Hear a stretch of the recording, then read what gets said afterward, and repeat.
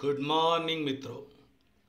સામાયિક શ્રેણી ચેપ્ટરમાં ન્યૂનતમ વર્ગોની પદ્ધતિ, એટલે કે સુરેખ સમીકરણના અન્વયોજનની પદ્ધતિ, ફરી એકવાર પાકી કરી લો. આ દાખલામાં તમે જોઈ શકો છો કે સુરેખ સમીકરણના અન્વયોજન દ્વારા વર્ષ બે હજાર સોળ અને બે હજાર સત્તર માટે નોંધાયેલ વાહનોની અંદાજિત સંખ્યા શોધવા અને ટીની દરેક કિંમત માટે વલણ કિંમતો શોધવાનું કહેલ છે.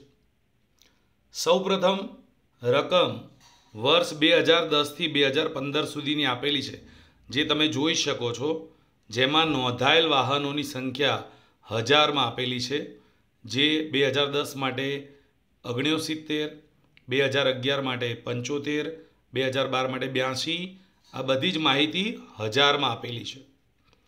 આ બે માહિતી બાદ ત્રણ કોલમ બનાવવાના રહેશે. વર્ષને બદલે ટીની કિંમતો ક્રમમાં અનુક્રમે એક, બે, ત્રણ, ચાર, પાંચ, છ એ પ્રમાણે લેવામાં આવે છે. હવે બીજા કોલમ બનાવવામાં આવશે ટી ટી સ્ક્વેર અને ટી વાય તમે જોઈ શકો છો કે ટીનો સ્ક્વેર એકનો વર્ગ એક, બેનો વર્ગ ચાર, ત્રણનો વર્ગ નવ, ચારનો વર્ગ સોળ, પાંચનો વર્ગ પચીસ, છનો વર્ગ છત્રીસ. આ પ્રમાણે ટી પરથી ટી વર્ગનું કોલમ બનાવવામાં આવશે. ત્યારબાદ ટી અને વાયનો ગુણાકાર કરી ટી વાયનું કોલમ બનાવવું, કેલ્ક્યુલેટરની મદદથી. ઓગણ્યોસિત્તેર ગુણ્યા એક ઓગણ્યોસિત્તેર પંચોતેર ગુણ્યા બી, બે, એકસો પચાસ. બ્યાસી ગુણ્યા ત્રણ, બસો છેતાલીસ. એકાણું ગુણ્યા ચાર, ત્રણસો ચોસઠ, તે પ્રમાણે. આ પ્રમાણે ટી અને વાયનો ગુણાકાર કરી ટી વાયનું કોલમ બનાવવું. અંતે ચારે ચાર કોલમના સરવાળા કરવા.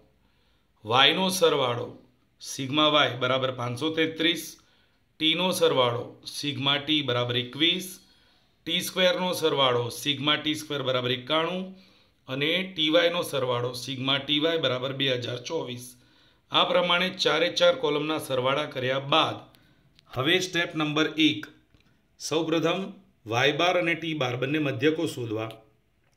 વાય બાર બરાબર સિગ્મા વાય અપોન એન પાંચસો તેત્રીસ ભાગ્યા છ, ઇઠ્યાસી પોઈન્ટ ત્યાંશી. અને ટી બાર બરાબર સિગ્મા ટી અપોન એન, એકવીસ અપોન છ બરાબર ત્રણ પોઈન્ટ પાંચ.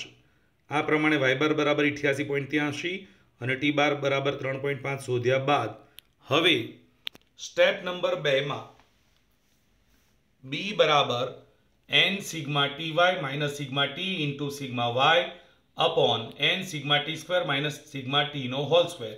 આ ફોર્મ્યુલા મૂકી અને તેમાં પેલા કોષ્ટકમાંથી કિંમતો મૂકવી. એન એટલે વર્ષોની સંખ્યા, તો છ વર્ષની માહિતી છે. એને અવલોકન પણ કહેવાય, એટલે એન બરાબર છ. સિગ્મા ટી વાય બે હજાર ચોવીસ માઇનસ સિગ્મા ટી ટીનો સરવાળો એકવીસ, સિગ્મા વાય વાયનો સરવાળો પાંચસો તેત્રીસ. છેદમાં એન છ. સિગ્મા ટી સ્ક્વેર એટલે ટી સ્ક્વેરનો સરવાળો એકાણું માઇનસ સિગ્મા ટી ઉપર જે સિગ્મા ટીની પ્રથમ વેલ્યુ છે એકવીસ, એનો વર્ગ. હવે બે હજાર ચોવીસ ગુણ્યા છ. બરાબર બાર હજાર એકસો ચુમ્માલીસ અને એકવીસ ગુણ્યા પાંચસો તેત્રીસ, બરાબર અગિયાર હજાર એકસો ને ત્રાણું. અંશમાં છેદમાં એકાણું ગુણ્યા છ, પાંચસો છેતાલીસ અને એકવીસનો વર્ગ ચારસો એકતાલીસ. અંશ અને છેદની બાદબાકી કરવાની, બાર એકસો ચુમ્માલીસ માઇનસ અગિયાર એકસો ત્રાણું એટલે નવસો એકાવન અને પાંચસો છેતાલીસ માઇનસ ચારસો એકતાલીસ એટલે એકસો પાંચ. નવસો એકાવન ભાગ્યા એકસો પાંચ, બીની કિંમત મળશે નવ પોઈન્ટ જીરો છો. આ પ્રમાણે બીની કિંમત શોધી લીધા બાદ હવે એ બરાબર Y bar minus B into T bar. A બરાબર Y bar minus B into T bar. Y બારની કિંમત ઇઠ્યાસી પોઈન્ટ ત્યાંશી માઇનસ બીની કિંમત નવ પોઈન્ટ જીરો છ અને ગુણ્યા ટી બારની વેલ્યુ ત્રણ પોઈન્ટ પાંચ બ્રેકેટમાં. નવ પોઈન્ટ જીરો છ ગુણ્યા ત્રણ પોઈન્ટ પાંચ કરતાં કિંમત મળશે એકત્રીસ પોઈન્ટ ઇકોતેર હવે ઇઠ્યાસી પોઈન્ટ ત્યાંસી માઇનસ એકત્રીસ પોઈન્ટ ઇકોતેર બરા માટે એ બરાબર સત્તાવન પોઈન્ટ બાર પ્રાપ્ત થાય છે. આમ બી અને એની કિંમત શોધ્યા બાદ સ્ટેપ નંબર ત્રણમાં સુરેખ સમીકરણ મૂકો કેપ ઓફ વાય બરાબર A plus B into T. Cap of Y બરાબર A plus B into T. આ સમીકરણમાં તમારે સૌપ્રથમ એની વેલ્યુ સત્તાવન પોઈન્ટ બાર મૂકી, પ્લસ બીની વેલ્યુ નવ પોઈન્ટ ઝીરો છ ઇન્ટુ ટી. આ બની ગયું તમારું સુરેખ સમીકરણ બી અને એની કિંમત મૂકતા. ત્યારબાદ હવે વર્ષ બે હજાર સોળ માટે ટીની કિંમત મૂકતા તમને વાયની અંદાજિત કિંમત આ પ્રમાણે મળે. ધ્યાનથી સમજવું. વર્ષ બે હજાર પંદર માટે ટીની કિંમત હતી છ. તો ક્રમ પ્રમાણે ત્યારબાદ વર્ષ બે હજાર સોળ માટે ટીની કિંમત થાય સાત. તો વર્ષ બે હજાર સોળ માટે ટીની કિંમત સાત એ આ નીચેના સમીકરણમાં મૂક્યા. કેપ ઓફ વાય બરાબર સત્તાવન પોઈન્ટ બાર પ્લસ નવ પોઈન્ટ ઝીરો છ ગુણ્યા ટીની વેલ્યુ હવે એમાં સાત મૂકવાની. એટલે નવ પોઈન્ટ ઝીરો છ ગુણ્યા સાત. બંનેનો ગુણાકાર ત્રેસઠ પોઈન્ટ બેતાલીસ. સત્તાવન પોઈન્ટ બાર વત્તા ત્રેસઠ પોઈન્ટ બેતાલીસ એટલે સરવાળાથી વર્ષ બે હજાર સોળ માટે અંદાજિત કિંમત વાહનોની મળી ગઈ, જેને કહેવાય કેપ ઓફ વાય બે હજાર સોળ એ વર્ષ નીચે લખી દેવું છે એટલે.